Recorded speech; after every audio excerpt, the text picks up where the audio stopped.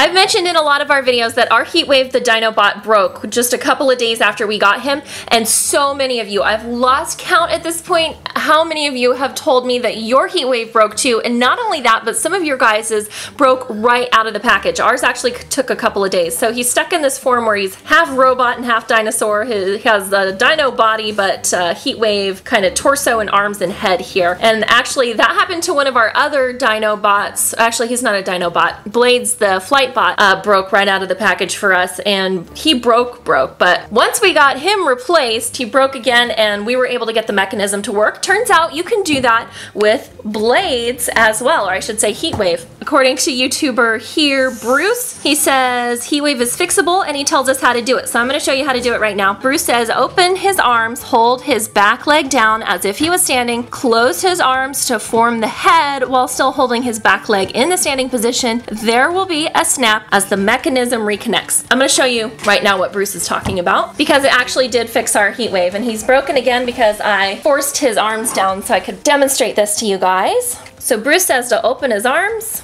and then hold his back legs down. So now he looks like he's a bot, but he won't stay this way. Then you want to close his arms to form the head, and you have to force it. Oy. You have to really, really force it, and this plastic is actually pretty pliable, which I guess is good because it would probably snap if it wasn't this pliable. So he's in bot mode basically right now. Oh, I just noticed his leg is broken right here. Let me zoom in on that. That's no good. Okay, so we kind of need a new one either way. Okay, so he's in bot mode and I'm forcing his arms up to form the head. That one is broken. Yeah, he's like really broken. The plastic is broken. This part was actually kind of difficult for me. But we have to get another Heatwave, like another Dinobot Heatwave. Well, since I know he's fixable, we might actually get another one. Yeah. Oh, we'll see. Remember?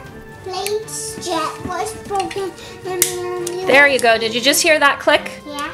So now the head will stay, and I'll let go of the feet, and those will stay too. Heatwave is fixed. Yeah, can I try his legs? Dinobot, can I grab my uh, Dinobots? Yeah, you can. So shout out to Bruce. Thank you so much for telling us how to fix Heatwave, and little dude is very happy. Unfortunately, I did not, this is very, very broken, and I didn't notice that before this video. There's Boulder. Yeah, Boulder's not broken. Nope. See, look at this. So we have a lot more Dinobot tours on our channel and a lot more rescue bots, of course.